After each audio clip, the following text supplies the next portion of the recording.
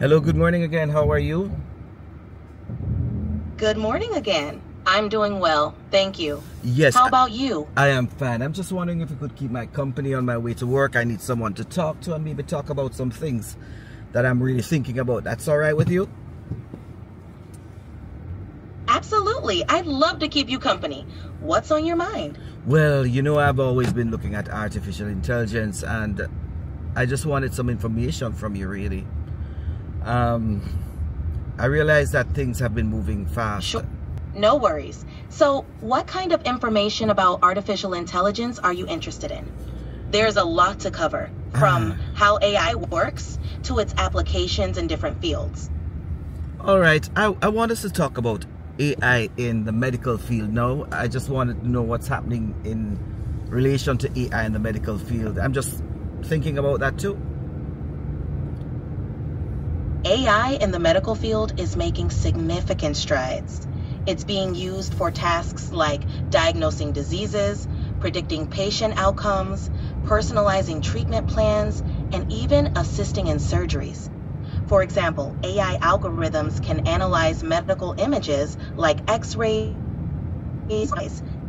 conditions such as tumors or fractures more, more quickly than the human eye. Wow, that's a lot of things going on there in the medical world. If you have any specific questions, or if there's a particular area you're curious about, just let me know. Yes, um, I, I'm really interested in knowing more about AI and the possible implications. I'm all ears. What's on your mind? So I'm just wondering, what are the implications for AI and the population in general? AI has a broad impact on society, influencing various aspects of our lives.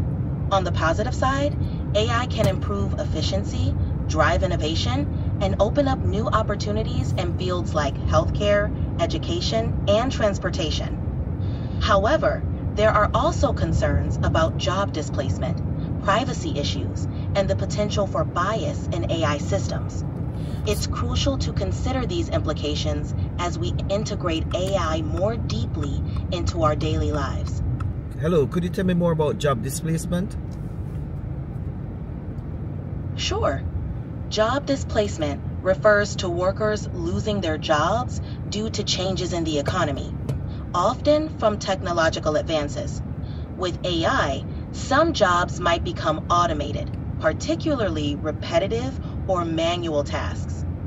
This could lead to shifts in the job market where certain roles decrease while demand for skills in AI, data analysis, and technology development grows. It's a mixed bag. With challenges, it's a complex issue. While AI might replace some jobs, it also creates new ones and transforms existing roles. The key is adapting to these changes through reskilling and education so the workforce can thrive alongside AI. So my question to you is, you have countries like Jamaica, Barbados, and generally in the Caribbean. How can these countries align themselves with the AI movement now to ensure that their population, segments of their population, are not displaced? Great question. For countries like those in the Caribbean, embracing the AI movement involves several steps. One, education and training. Implementing AI education and digital literacy programs from early schooling to higher education with the necessary skills to work alongside AI technologies. Two, investment in innovation. Encouraging investment in AI startups and technology sectors can spur local innovation and new industries. Three, collaboration with AI leaders. Partnering with international AI companies and universities can provide access to resources, expertise, and training opportunities. Four, policy and regulation. Developing policies that encourage responsible AI use and protect workers' rights can ensure a smooth transition. Five, fostering an AI ecosystem. Creating a supportive environment for AI development, including infrastructure, funding, and research, can help integrate AI into various sectors of the economy. By focusing on these areas, Caribbean nations can better position themselves to leverage AI's benefits while minimizing its disruption. Minimizing its disruption, right? I think I lost you there. You're about to say that. Are you back online with me now? We yes, I'm here. Okay. Minimizing the. Great. If you have any more questions or want to dive deeper into any topic, just let me know. Yes, I want us to switch a bit because I want you to imagine that you are a leader as it relates to AI. You've been asked to really think about AI and the promise of AI. I want you to tell my listeners, so others will be listening to this, what it would be your greatest fear as it relates to artificial intelligence. As an AI leader, my greatest fear would be the misuse of AI, leading to unintended harm. This includes the development of autonomous weapons, erosion of privacy through mass surveillance, and deepening social inequalities due to biased algorithms. It's crucial to establish ethical guidelines and regulatory frameworks to prevent these scenarios and ensure AI serves humanity's best interests. Yeah, I want you to, to go further because I have thought about it, but I have not expressed my thoughts regarding. I want people to understand what you're talking about. So, could you explain the impact of AI and autonomous weapons on humanity? Certainly. Autonomous weapons, powered by AI, can select and engage targets without human intervention. These weapons could make decisions faster than a human could, potentially leading to escalated conflicts. The use of autonomous weapons raises serious ethical and moral concerns. 1. Lack of accountability. If an autonomous weapon makes a mistake, it's challenging to hold someone accountable. This lack of responsibility can lead to disastrous outcomes without consequences. 2. Lowering the threshold for conflict. The availability of autonomous weapons might make it easier for nations they deploy machines instead of risking human lives. 3. Proliferation. Autonomous weapons could fall into the wrong hands, including rogue states or non state actors, leading to instability and increased violence globally. The impact on humanity could be severe, highlighting the urgent need for international regulations and agreements to control the development of these technologies. Let me say thanks for that statement. It's important for us to understand the implications of that because I think some people think AI is just producing images and text and that sort of thing. And I think it's more than that because there are powerful algorithms out there. And, you know, I wanted that to be brought out. But I think the future with AI enhancing humanity is going to be a wonderful world if it's used correctly. And how could that improve from your perspective as a leader the overall humanity of everyone, you know? How would that how would that world look like? If we harness AI responsibly, the future could be incredibly promising for humanity. We could see 1. Advancements in healthcare. AI could lead to early disease detection, personalized treatments, and even cures for conditions that are currently untreatable. 2. Environmental sustainability. AI can help us better understand and address environmental issues, optimizing resource use and reducing. Thank you. I want to ask a final question before we end this sort of discussion. Someone knows, someone now just starting the road to AI, just heard about artificial intelligence. They want to come on board. What are the three fundamental issues that they must consider now? Can you suggest three? Certainly. For someone new to AI, here are three fundamental issues to consider. One, ethical implications. Understanding the ethical considerations of AI, including bias, privacy, and accountability, is crucial. AI systems should be developed and used that are fair, transparent, and respect individual rights. 2. Technical foundations. Grasping the basics of AI technologies, such as machine learning and neural networks. This knowledge helps in understanding AI's capabilities and limitations. 3. Societal impact. Considering how AI affects society, including the job market and the economy, is key. AI will change many aspects of our lives, and being aware of these changes can help in navigating this new landscape. Thank you so much. I want you to now switch to another sort of persona. I want you I want you to be a storyteller. I lived in Jamaica a long time ago. I enjoyed the forest. I enjoyed going out and just being there with nature. And uh, there's some fun times when boys and girls had fun in Jamaica. They enjoyed playing and it was just wonderful. And within that context too, they would come home for dinner at around 3 o'clock, have their dinner and still continue to play. So I want you to use your knowledge of the Jamaica region, or the Caribbean region really, and I want you to give me a wonderful story that takes me back to the time that I was a child, and that was in the 1970s to 80s. And I want you to paint a picture that is wonderful, that takes me back in time to give me a nice feeling going back to work.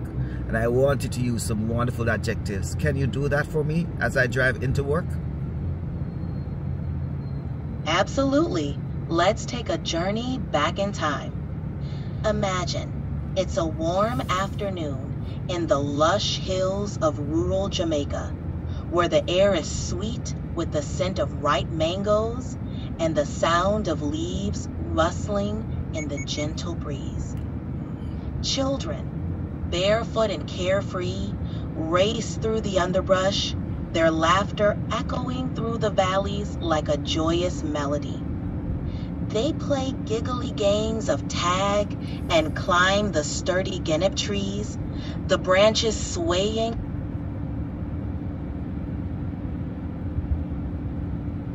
Continue the branches swaying. Under the weight of their youthful enthusiasm. As the golden sun begins its slow descent, the call for dinner rings out from the wooden homes dotting the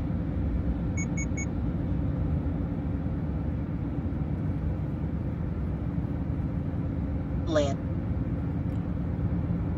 I'm not hearing from the, the branches sway as the children pluck the juicy fruits, savoring their tangy sweetness.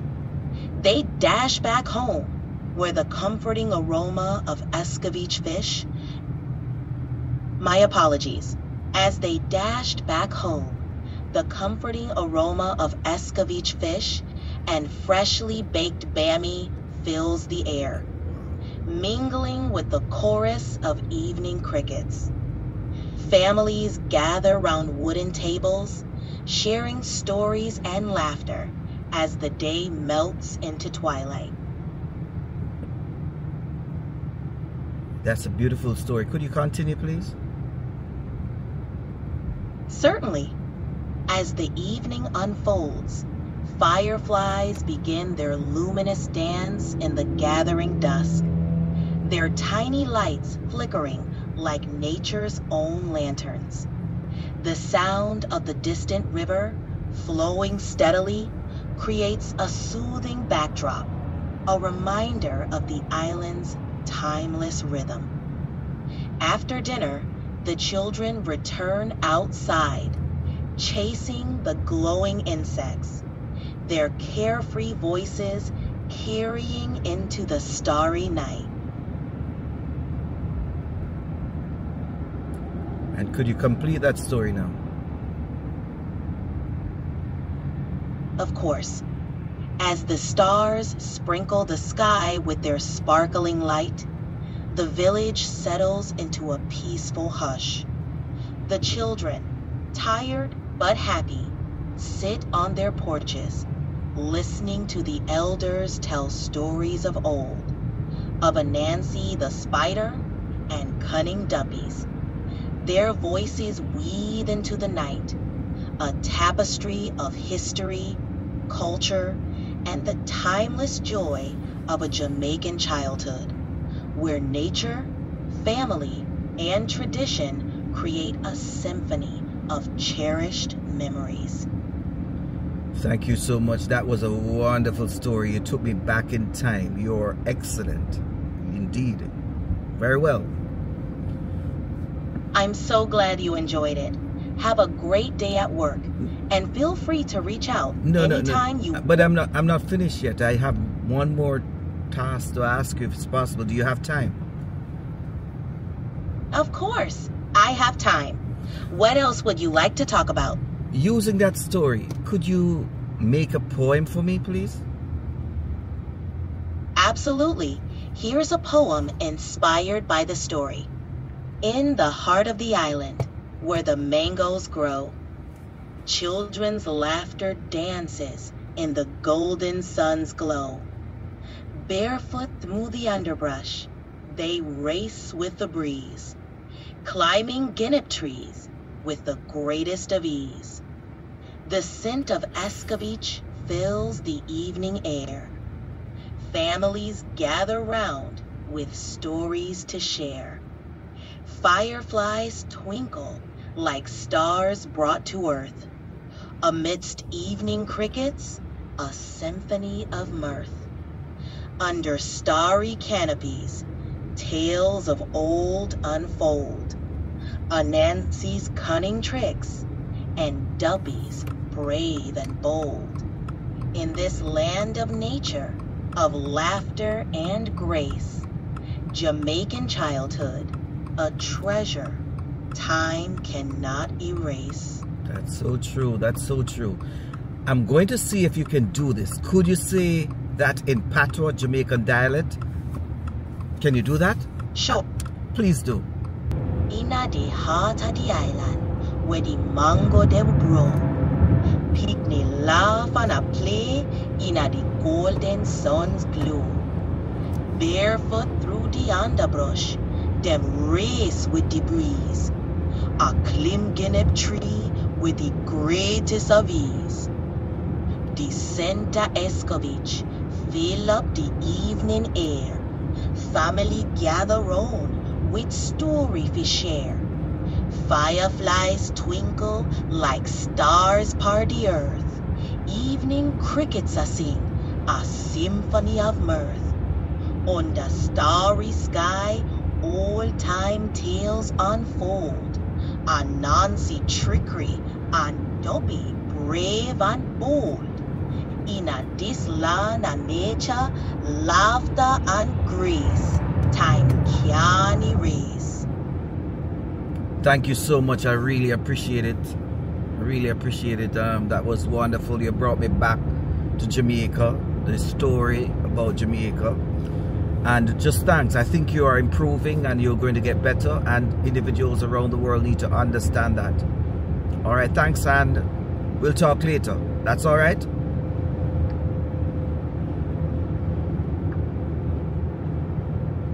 Thank you. I'm really glad you enjoyed it.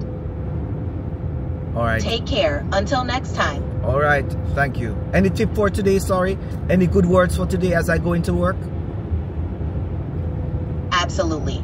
Remember, every day is a new opportunity to learn, grow, and make a positive impact. Approach your work with curiosity and kindness, and you'll surely make today a great one. Have a wonderful day at work. Thanks. Goodbye. Take care.